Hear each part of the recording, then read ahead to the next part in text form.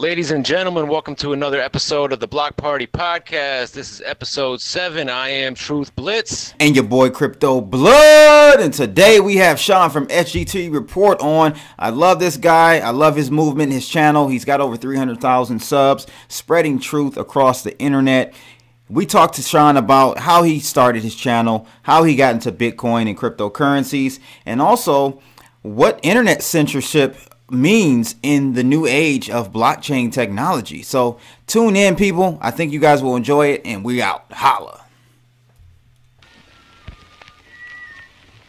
This the story of crypto blood and truth blitz. Ask them a cliff high what the truth is. They was just talking about the blockchain. That's when they heard Janet yelling and the cops came. They said, Give me all your Bitcoin and lock aim. Then Jamie Dimon showed up and the shots rained. So we hopped in a Lambo and took off fast. Welcome to the Block Party Podcast.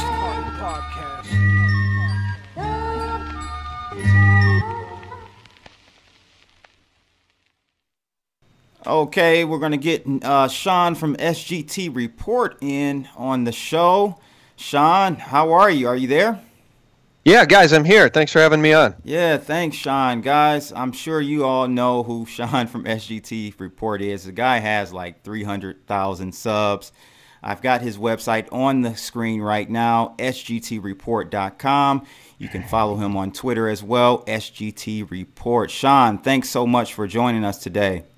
Hey guys, my pleasure. I've been uh, a friend of Nick's for a while now, and uh, I'm very pleased to be a friend of yours now too, Crypto Blood. I'm a fan of your uh, perspective on things, and uh, you know we're kind of being thrown under the bus. I feel like by the powers that be with this whole crypto thing right now, so we can talk about that. But uh, I'm real glad to be on your show, guys. Yeah, man, Excellent. thank you, and that that means a lot to me. I've been following you for some time. I mean, I've known about you for years. Uh, you started what in 2008?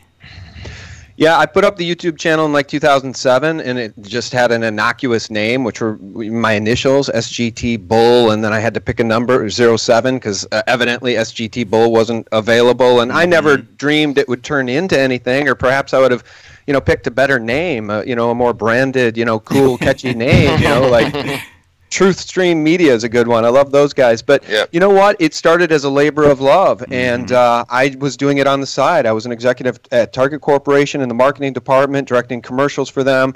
Um, and uh, I did that for about 10 years. And I was doing this YouTube stuff on the side, trying to speak out against tyranny. Mm-hmm. And it just slowly, slowly, slowly, and people need to understand this about YouTube. Just do it, do what you love and do it over time and it'll grow but it takes a long long time to and do it consistently right? That's the key.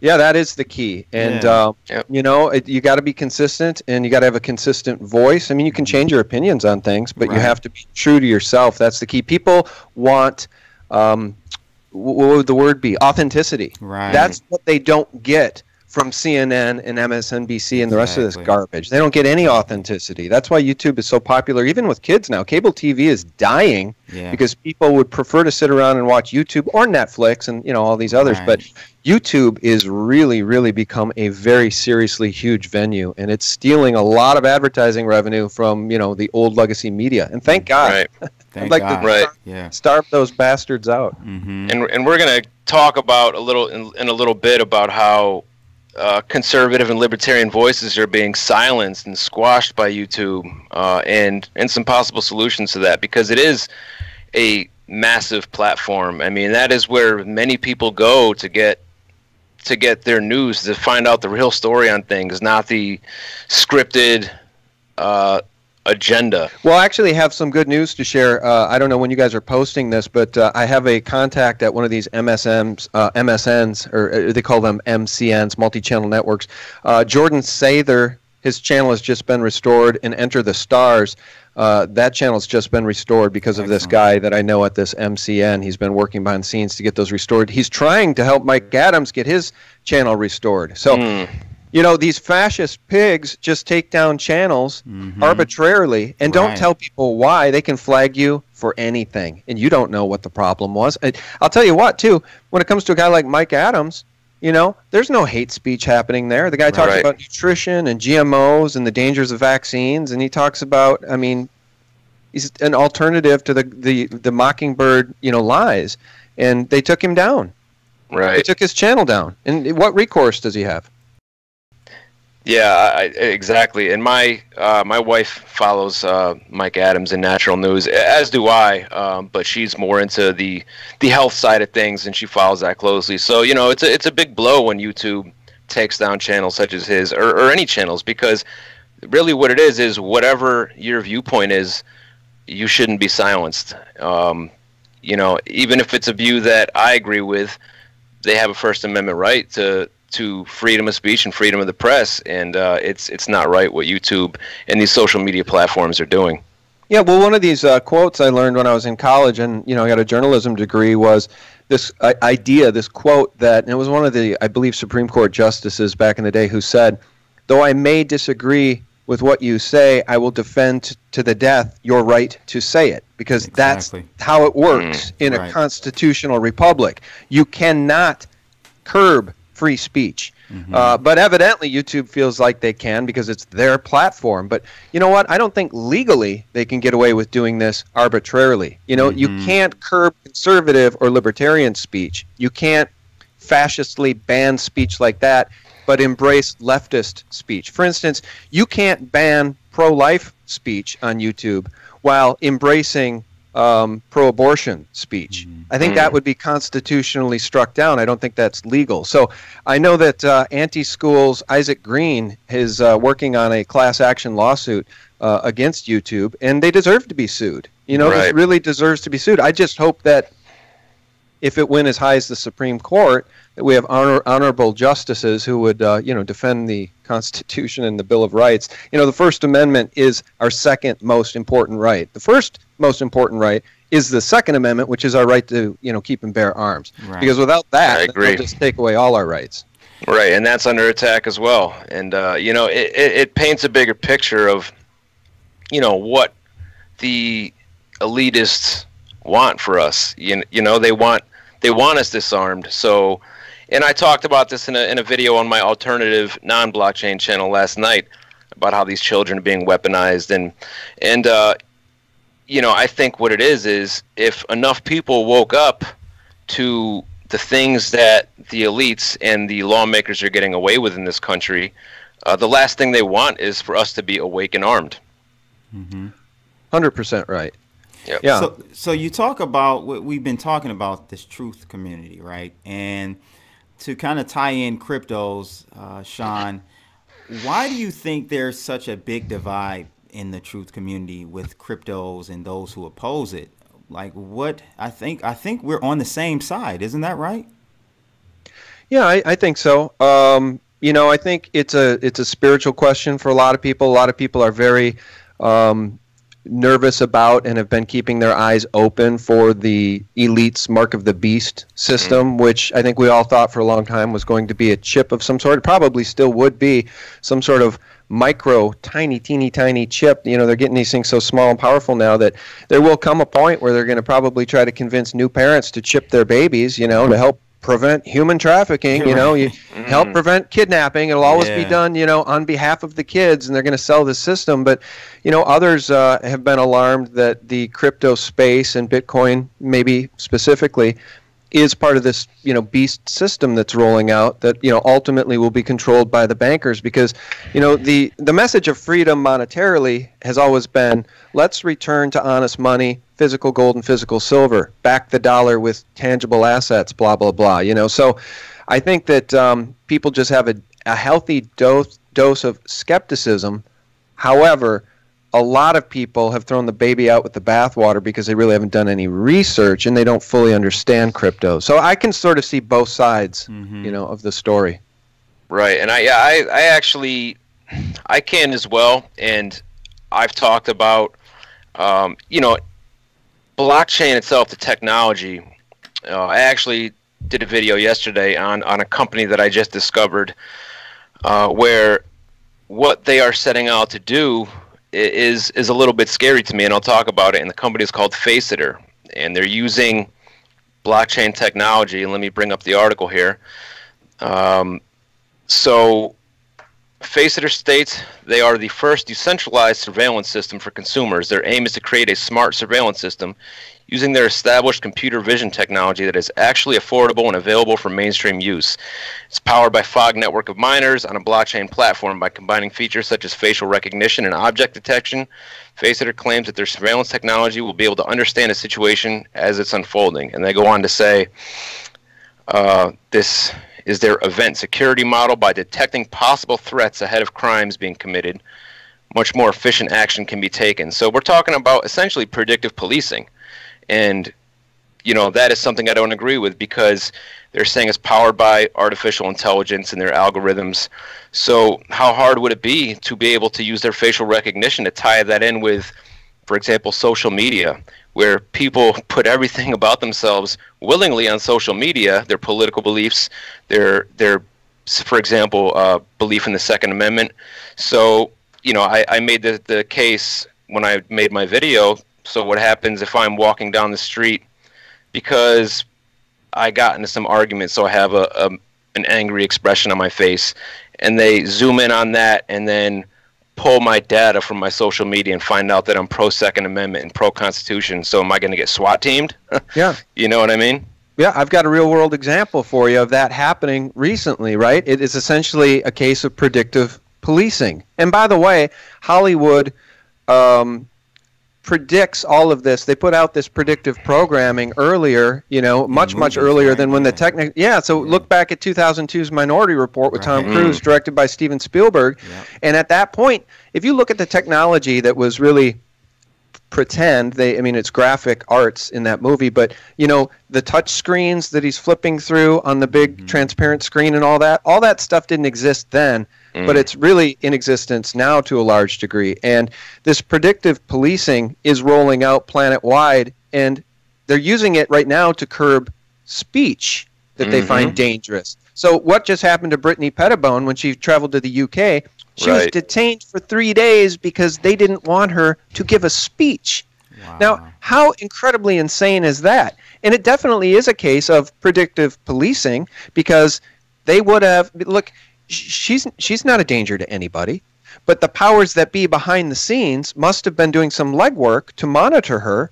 And as right. she entered the country, she was detained because right. they didn't want her to speak. And so it's very scary. The UK, man, you want to talk about Orwell's Big Brother? Right. Mm-hmm. You know, it's it's Orwell on steroids already here there in the UK, and I think per capita, the United Kingdom has more cameras uh, on public streets than anywhere in uh, anywhere in the world. And they have yeah. no guns. no, right. yeah, there's a there's a theme here. I said that in, in my video. They that you can't be anywhere in public in the UK without being on camera. Yeah. It's uh, it's insane, and I think to a large degree, mostly what it is now, and I'm sure they're transitioning, but it's it's people sitting behind in a big control room watching all these screens. Yeah. But just imagine, you know, or th- even if they're not, even if it's uh you know what what we found out with the Prism um, program with the NSA, they're just collecting all of this data, and so they can go back and, and data mine and find out things about us uh, in the future. So it, it's it goes both ways, in my opinion. Right. Yeah. yeah. It's it's it is a scary thought, and that is, to me, one use. And you know, as I said, they're tying this in now with blockchain, and that that is one thing that, you know, to me would be a negative use. But on the same on the other side of the coin is is there are positive use to blockchain. And let's get back to that the topic of voices being censored, predominantly conservative and libertarian voices from YouTube. Anybody who's speaking out against the mainstream narrative and the mainstream agenda. Um, and blockchain is a solution to that, or, or can be. And I know we have platforms such as Steemit, which is not widely ad- adopted yet, uh, but I feel it will be. And just the, the the idea that this technology is censor proof. You can't censor the blockchain. So, you know, they cannot go back and delete somebody's videos or content if it was on the blockchain. And uh, and I think that might be if we don't win in the courts when it comes to YouTube and the social media, I think that um, blockchain is and will be the solution. Yeah, I think that you know, really, man, if you look at it, you look through history you know, a lot of things that have been implemented by different civilizations, different governments, they all normally start off um, honest and, and pure, and they have a, a, a good intention, right? Mm. But it always gets corrupted, and I think that you know my thing with Bitcoin and, and blockchain and everything, it's I don't believe that it is currently. Uh, what, well, I, don't, I will say it like this. I don't believe that they disseminated this technology to us. I think it was either stolen from a program or, or something like that. But I think that because it's open source, I don't think in that a government would actually put something out that's open source, you know, that yeah. can be replicated and, and utilized and, and basically forked and, and, and done some, you know, something else done with it. But I do think that eventually blockchain um, cryptocurrencies will become corrupted by the governments, the central banks and such. So it's you know we've got to stay on it regarding what the real cause or or not cause, but the real use case for cryptocurrencies uh, were meant to be, and it was to get away from big government. And I think that yeah. the truther community really we need to come together um, and, and unite and really fight against this. Yeah, I, I agree. Take on that, Sean. Well, you know, I don't disagree. I just think that the battle that needs to be fought is the battle that people uh, like Mike Adams and Isaac Green, Anti School, and the rest of us need to fight, which is the battle of maintaining our free speech. Because make no make no mistake about it, we are at war with the fascist left in these mm. corporations. Mm-hmm. This is a war because you know keep in mind that if Hillary Clinton had gotten into the White House there would be no stopping their agenda because right. the people that stand opposed to us use obfuscation. Mm-hmm. They lie, they cheat, they steal, they run hit teams, they murder. Look what happened to Seth Rich. You know, mm-hmm. Kim Dotcom has said Seth Rich was the WikiLeaks uh, leaker. Uh, he provided the DNC emails to WikiLeaks. He's willing to talk to Robert Mueller on the on the record. He's reached mm-hmm. out twice via his, his attorneys, and Mueller doesn't want to talk to him. So these people are aligned against truth, and they will use anything, any means at their disposal um, to, well, look thank God Hillary didn't get into the White House. I think we've got a reprieve here, and the battle that needs to be waged is the battle for truth and free speech. Because you guys have heard of ethnic cleansing. What's going on right now on YouTube and across you know the media sphere is speech cleansing. Mm-hmm. Right? I, yep. Look, I've got a I've got a post at sgtreport.com uh, right here today. Uh, kid says I got kicked out of class for saying there's two genders. And he tells yeah, st- I saw tells that. the story to Tucker Carlson. Mm-hmm. So it's complete madness. And again, it goes back to Orwell's 1984. The goal in that book was to reduce speech to, you know, by 90%. Reduce mm. the number of words that people can use by like 90%, right? To get yeah. everybody to use the approved Big Brother language because then we don't have language. If they can destroy our language and destroy speech, then we can't communicate. And that's exactly what they want. They literally want to dumb us down. But worse than that, you guys, I uh, in my uh, video, "The Enemy Is Inside the Gates," I played a clip from Larry Grathwohl, the Weather mm. Underground infiltrator, yep. who said they want to re-educate people, and those that couldn't be re-educated would be put into camps, and by their own estimates, they would have to terminate, kill 25 million people. Now, mm. it was Bill Ayers who was one of the founders of the Weather Underground. Bill Ayers, buddies with Barack Obama. He's tight with Hillary Clinton. So everybody needs to understand how fortunate we are that that witch didn't get into the White House. Mm-hmm. So the real battle, and I hope blockchain can help us, but the real battle is to defend the First Amendment.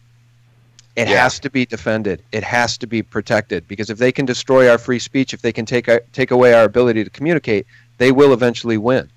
Right, and that's you know it, it's unfortunate that Google is essentially the most powerful company in the world uh, you know, they have no doubt a monopoly on the internet. And then any small company that tries to come out, they'll just buy them up. Um, so it is, it's, it is, it's, I guess a scary the, thought. The great thing about blockchain, you know, it, it's decentralized. It's, it's, um, no one person has it. So they, they couldn't go by a decentralized platform. You know what I mean?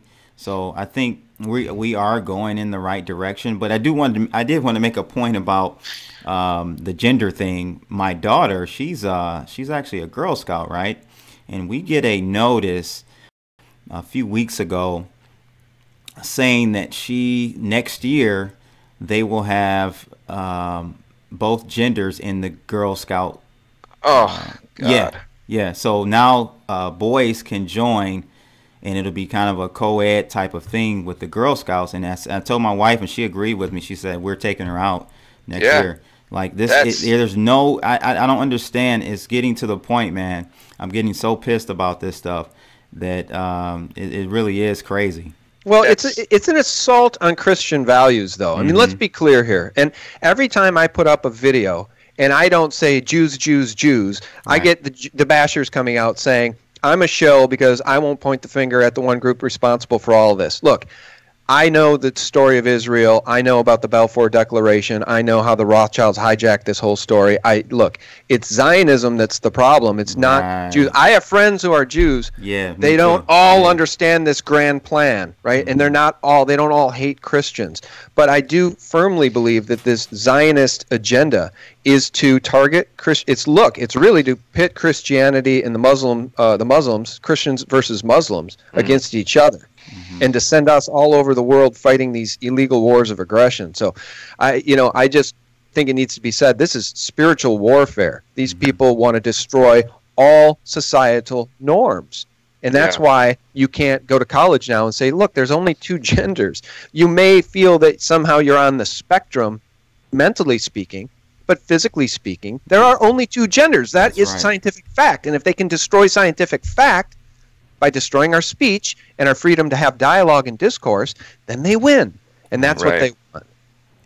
Yeah, I, I it's funny. I, I live on the campus of a huge uh, liberal arts university, and uh, I remember they made the announcement a couple years ago that I think it was maybe a year and a half, two years ago, that they were going to be allowing females into fraternities. so, you know, it's been happening for oh some time my now God, bro. and they yeah so it's uh it is it's it's an attack on uh, I, I i fully believe and uh, agree with what you said um and it's it's insane Let me. Can I ask you guys something? If we just circle back to cryptos quick, though, I do Sure. have a question for you. Um, Cliff High Mhm. Mhm. has long predicted, right, that, and I always thought it was January, thirteen thousand Bitcoin, but I guess it was February of this year. And he's he's been on the mark in so many other ways for so long that a lot of people had a lot of, uh, let's just say, maybe put all their eggs in the Cliff High basket Right. believing that you know we're really going to see a hundred thousand dollar Bitcoin this summer, etc. Um, how do you guys feel about that prediction being so off base? Number one, and number two, I asked uh, Cliff personally via email if the Bitcoin futures were going to destroy Bitcoin. He said no, they're going to screw the pooch with that one. But ever since those damn Bitcoin futures have launched, look at the chart. It's just down, down, down, down, just like they've done to silver and gold. And you can see when they hit it. You know, I think I saw a chart the other day. They hit it at 11 a.m. a lot. Um, so what's the truth about Bitcoin futures, and what's the truth about uh, the future for Bitcoin? Are we going to ever see 13888? Yeah, so I used to trade futures, um, and so I kind of understand from a more technical standpoint how that works, man. And um, I don't think at this current moment, the way the futures contracts are set up, that they are manipulating it in any meaningful way. Uh, the Yeah, volume they're is cash. just- They're cash settled, right? they're cash settled, settled, so they don't even they don't even really correlate at all with Bitcoin. So they don't need to go buy or sell Bitcoin to cl- close these uh, these contracts. But I do think this is a mechanism that they kind of set up for future heavy manipulation, like they they've done with silver and gold and other precious metals. So currently, I don't think that it, it, it is manipulated in that way directly with futures but it is coming for sure. Ladies and gentlemen, I hope you enjoyed episode 7, part 1 of the Block Party Podcast with Sean from SGT Report. Jump over to the Block Party Podcast official channel to see part 2. Uh, it'll only be up on that channel, so make sure you guys get on there and subscribe to see part 2. Peace.